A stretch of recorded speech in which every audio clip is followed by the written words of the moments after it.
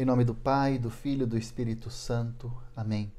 O Senhor esteja convosco, Ele está no meio de nós. Aleluia, aleluia. Nesta quinta-feira, dia 20 de abril, nós queremos reafirmar insistentemente que Ele está vivo, Ele está no meio de nós. E Ele deseja continuamente, como nós lemos no Evangelho desta quinta-feira, nos dar o seu espírito sem medida. Que coisa linda esta afirmação.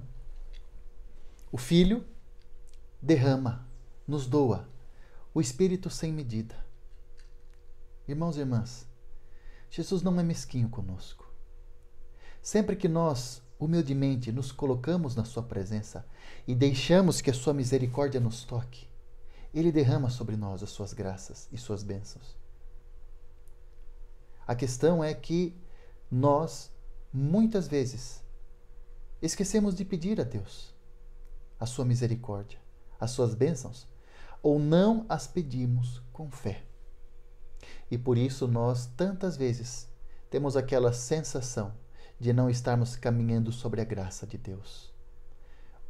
Ou pior, tantas vezes estarmos caminhando sobre a desgraça. Não é verdade? Mas o problema não está em Deus.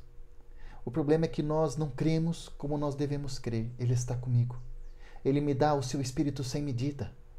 Ele não dá uma, uma porçãozinha pequena, mas o espírito é derramado sem medida todas as vezes que eu peço, que eu creio, como nós agora queremos fazer, nesses sete minutos de bênção.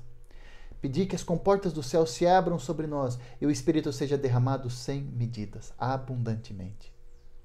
Estamos aqui com a imagem de Nossa Senhora das Graças.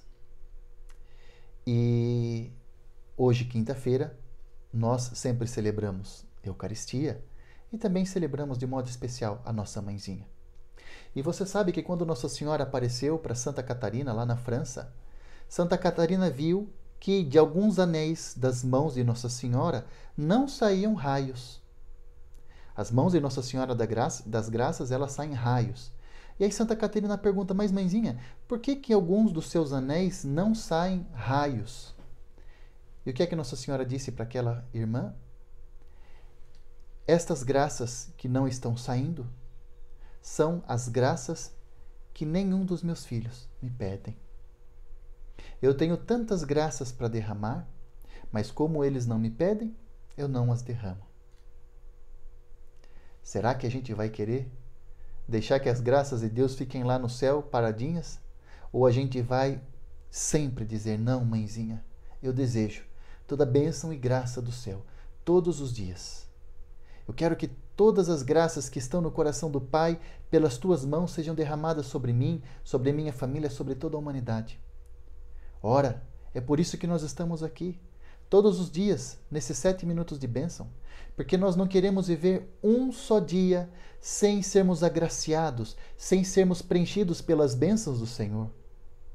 Porque neste mundo que jaz o maligno, existem tantas contaminações contaminações por aquilo que nós vemos, por aquilo que nós ouvimos, contaminações nos ares.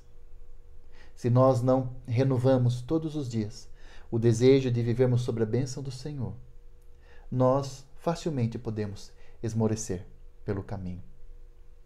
Por isso, agora, juntos com Maria, vamos pedir que sobre nós sejam derramadas estas bênçãos e graças do céu. Nós vamos agora rezar uma Ave Maria. Vamos pedir, pela intercessão de Nossa Senhora, agora que você, que está aqui orando conosco, que você seja agora plenamente agraciado por todas estas bênçãos e graças do céu. Faça assim. E agora, das mãos de Maria sejam derramadas sobre você, sobre todas as áreas da sua vida que você tem necessidade, essas bênçãos do Senhor. Rezemos confiantes. Ave Maria, cheia de graça, o Senhor é convosco. Bendita sois vós entre as mulheres, bendito é o fruto do vosso ventre, Jesus. Santa Maria, Mãe de Deus, rogai por nós, pecadores, agora e na hora de nossa morte. Amém.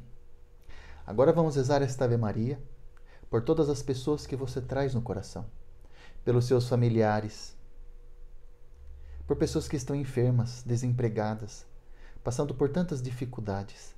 Apresente agora no teu coração ao Senhor todas estas pessoas e vamos rezar com muita fé esta Ave Maria, para que agora, das mãos de Nossa Senhora, possam ser derramados todas as graças sobre esses irmãos e irmãs que tanto necessitam. Rezemos confiantes. Ave Maria, cheia de graça, o Senhor é convosco. Bendita sois vós entre as mulheres, bendito é o fruto do vosso ventre, Jesus. Santa Maria, Mãe de Deus, rogai por nós, pecadores, agora e na hora de nossa morte. Amém. Aleluia. Bendito seja Deus, irmãos e irmãs.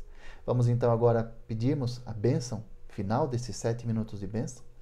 Nós agora encerramos esse momento de oração, mas a bênção do Senhor vai acompanhar-te ao longo de todo esse dia. Não esqueça de compartilhar esta live de oração, esse momento de oração com tantas pessoas que necessitam serem tocadas pelo Senhor. Quantas pessoas passam tanto tempo aí na internet vendo vídeos, coisas aí que não, não trazem nenhuma riqueza espiritual.